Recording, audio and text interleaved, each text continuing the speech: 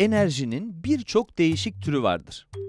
Enerji molekülleri bir arada tutan kimyasal bağlarda dönen bir tekerleğin hareketinde ya da bir yamaçta duran bir kayada depolanabilir.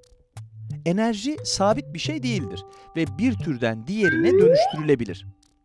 İnsanlar enerjinin dönüştürülebildiğini binlerce yıl önce keşfetti. Tam olarak ne yaptıklarını anlamamış olsalar da sıcak kalabilmek ve yırtıcı hayvanları kendilerinden uzak tutabilmek için ateş yakan ilk insanlar aslında odunun içindeki kimyasal enerjiyi ısı ve ışık enerjisine dönüştürüyorlardı.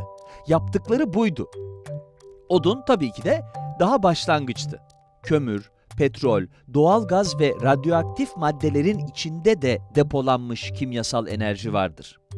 Ve bu yakıtların yakılması bugünkü modern toplum hayatının ortaya çıkmasını sağlamıştır. Bu yakıtlar üç ana enerji türünün üretilmesi için kullanılır.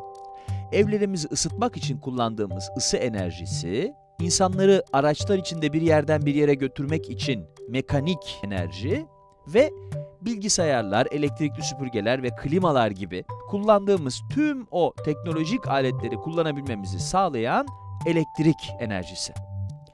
Elektriğimizi üretmek için kullandığımız süreç ve teknolojiler hemen hemen aynı. Kömür yakan bir elektrik, nükleer bir santral ya da yenilenebilir bir enerji kaynağı olsun, enerjinin bir türü bir türbinin kollarının dönüşü ile hareket ya da kinetik enerjiye dönüştürülür.